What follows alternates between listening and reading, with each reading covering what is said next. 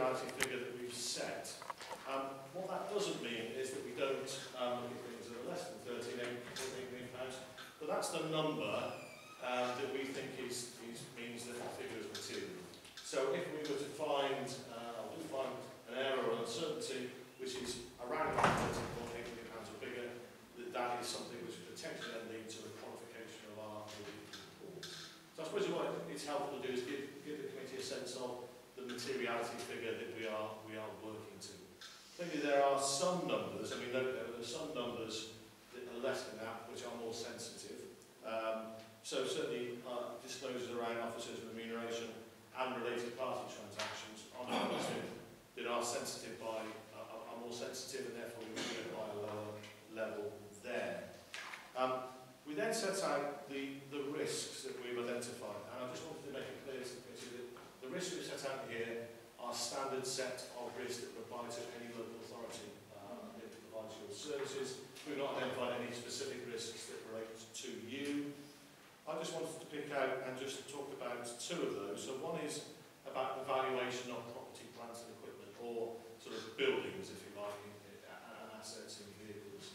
Um, that is a significant material figure in your accounts running into hundreds of millions of pounds. The judgments about those numbers involve sort of estimates and judgments, so that's something we, we spent some particular time on. The other one I just wanted to pick out is about the valuation of the pension funds um, liability. Again, um, that is a big number in your accounts which involves judgments made by experts. Um, so we obviously liaise with the auditors of the pension fund in terms of those numbers. Um, so those are, like I said, so standard risk for a local government audit.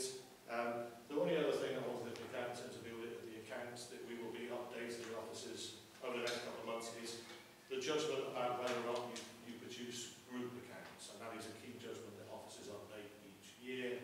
So that's something we'll be talking officers about uh, as, the, as the audit progresses. Um, members will also be aware that the other main responsibility we have as auditors is to form a judgment of what's called the VFM judgment. It's about whether you've got appropriate arrangements in place to deliver value for money in the use of resources. Um, we have set out at page 13 of our report the two significant risks that we've identified in relation to that judgment. Um, the first is about financial position. I think it's fair to say that I think for all local government audits, this tends to be a significant risk, reflecting the, you know, the financial position that local authorities find themselves in, the savings that you're required to make, the reduction in um, revenue support grant that all authorities are facing, and the increasing sort of reliance on business rates to be, be more self-reliant. So what we, what we do as part of that is update our assessment of your medium-term financial planning and reflecting back on some of the things in the previous item about how you are freeing up resources to, to match that position. So that's the first risk. The second risk um, is, is again an item which we've touched on a number of times this evening, um, and that is the assessment that Ofsted reached um, just over a year ago now in terms of the inadequate judgment around children's services. So we will update our judgment around that. So what we'll do is, is we will update our progress around the improvement and the improvement board, and we will have sight up and look at the updated judgments and information that comes through from Ofsted Um, so those I think you would probably expect to be uh, the two key areas that we will pick out on that. Um, it's probably worth just putting on record, we issued a qualified um, VFM conclusion last year based on that, that inadequate assessment. On the basis, my understanding at the moment is, is that you know, that, that judgment will remain in place at the time that we are signing this off later in the year. So my expectation, although you, I won't prejudge it completely, is that that will be a similar judgment that we will come to. I think that's fairly clear and well established. Um, those, those are the two main responsibilities. There are other things that we, re we report on and we review, and we've touched on one of those already, so the annual governance statement is something that we review. Just to be very clear, we do two things on that. Has it been prepared in accordance with the guidance?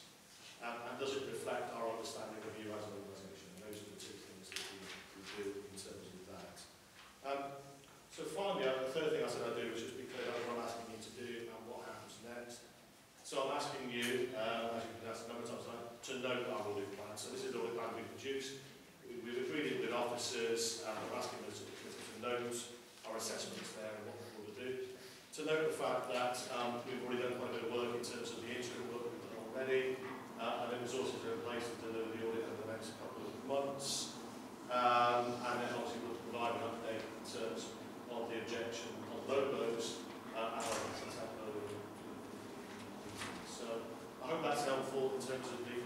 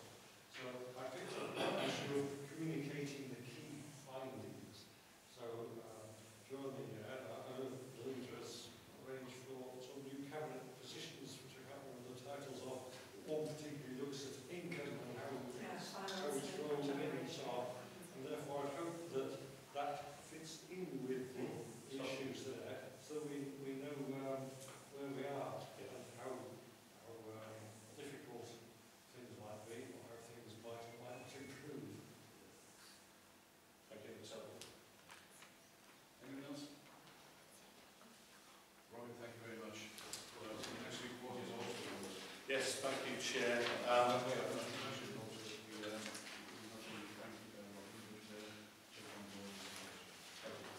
So item 15 is, um, is a copy of a letter from me to the Chief Executive. This again is a fairly standard communication. So what this is, it's a letter from me to the Chief Exec setting out the audit fee and overall arrangements for next year's audit. So we're talking about here 2017-18. Um, so I'm required to communicate that to, to you, and that's what this is here. So um, we set out the fee, this is at page 251 of the papers. Uh, you'll see there the fee for the main audit, which is 159,863, and it also includes the fee for the pension fund as well. Just to be very clear to members, those fees are, are in line with what public sector audit appointments have set as being your fee, so we set it in line with that. Um, the other thing I just wanted to mention in this item, so 1718, of which this about, is the final year of the audit of the council under current contract arrangements. Okay? So um, I'm sure members will be pleased to know that you're, you're Thornton and myself next year. Um, after that, you are part of a, a procurement process which is currently ongoing. Um, we have submitted a bid to Public Sector